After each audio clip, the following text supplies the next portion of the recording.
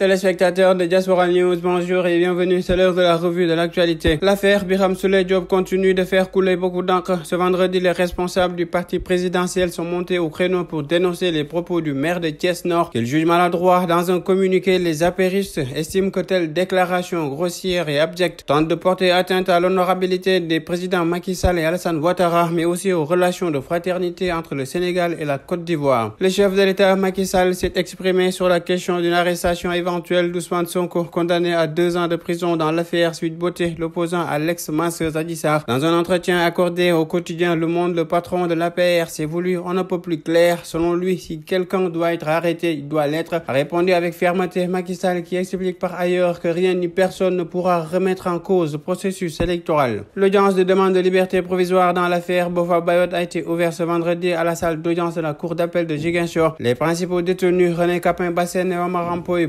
ayant toujours clamé leur innocence dans l'exécution de 14 personnes dans la forêt du Bayot en janvier 2018 ont été autorisés à faire face au président de la chambre criminelle de ladite cour. Après ouverture des débats, le président a rejeté la demande de liberté provisoire aux grandes dames des prévenus et avocats et des membres des familles des détenus. Cependant, ces derniers ont la possibilité d'être entendus sur le fond du dossier en appel pour espérer une révision de leur peine, voire une liberté. Sur l'international, l'ONG Médecins sans frontières réclame vendredi la reprise immédiate de la distribution d'aide alimentaire en Éthiopie, suspendue depuis juin car massivement détournée, constatant des niveaux alarmants de malnutrition dans le pays. Des individus armés non identifiés ont ouvert le feu contre un convoi logistique de la force de la MINUSMA se déplaçant de la localité de l'Abezenga à Gao, plus grande ville du nord du Mali, dans la région éponyme, a affirmé à l'AFP une source au sein de la MINUSMA. Rappelons que depuis 2013, la mission de l'ONU au Mali est une cible privilégiée des djihadistes qui visent la présence étrangère et les symboles de l'État. Enfin, en Centrafrique, un nombre indéterminé de mercenaires du groupe paramilitaire russe Wagner quittait le pays ces derniers jours selon plusieurs sources étrangères. Une information fermement démentie par le gouvernement. C'était tout, mesdames et messieurs. Nous vous donnons rendez-vous dans un autre numéro. D'ici là, restez avec nos programmes Diaspora News Télévision.